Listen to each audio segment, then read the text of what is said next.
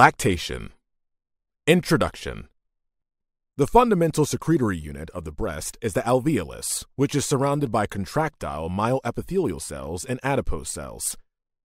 These alveoli are organized into lobules, each of which drains into a ductule.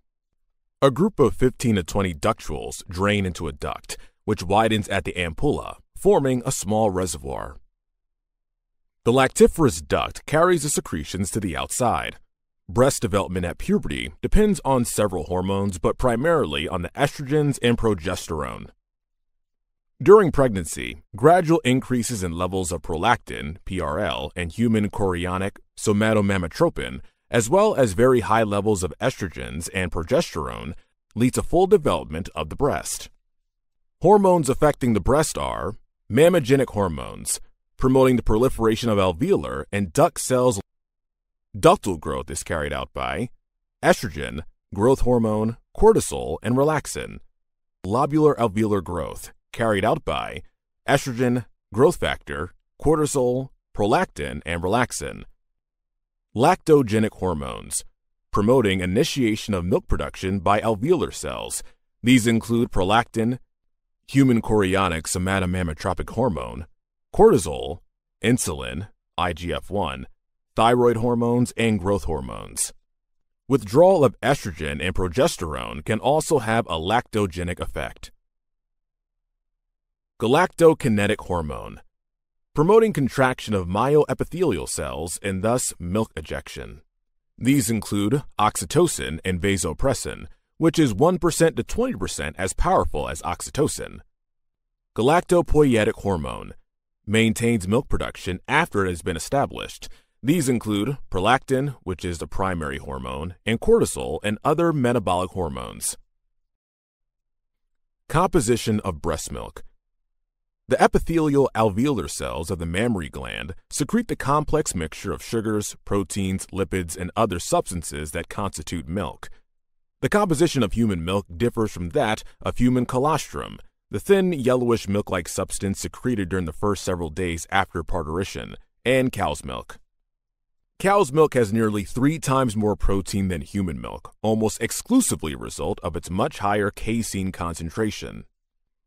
Cow's milk also has a higher electrolyte content. The difference in composition between human and cow's milk is important because a newborn, with its delicate gastrointestinal tract, may not tolerate the more concentrated cow's milk, Secretion of the complex mixture of constituents that make up milk are carried out by five major routes.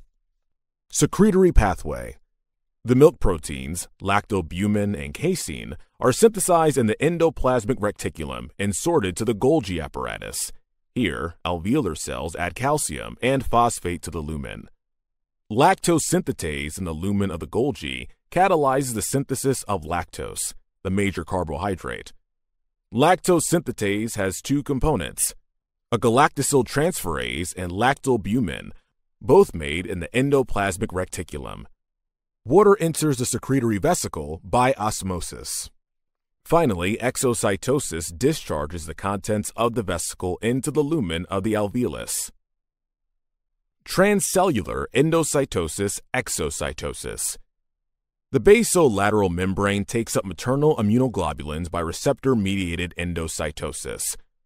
Following transcellular transport of these vesicles to the apical membrane, the cell secretes these immunoglobulins, primarily IgA, by exocytosis. The gastrointestinal tract of the infant takes up these immunoglobulins, which are important for conferring immunity before the infant's own immune system matures. Lipid pathway. Epithelial cells synthesize short chain fatty acids. However, the longer chain fatty acids, greater than 16 carbons, that predominate in milk originate primarily from the diet or from fat stores. The fatty acids form into lipid droplets and move to the apical membrane. As the apical membrane surrounds the droplets and pinches off, it secretes the milk lipids into the lumen in a membrane bound sac transcellular salt, and water transport. A variety of transport processes at the apical and basolateral membranes move small electrolytes from the interstitial fluid into the lumen of the alveolus. Water follows an osmotic gradient generated primarily by lactose. present at a final concentration of 200 millimoles, and to a lesser extent by the electrolytes. Paracellular pathway. Salt and water can also move into the lumen of the alveolus via the tight junctions.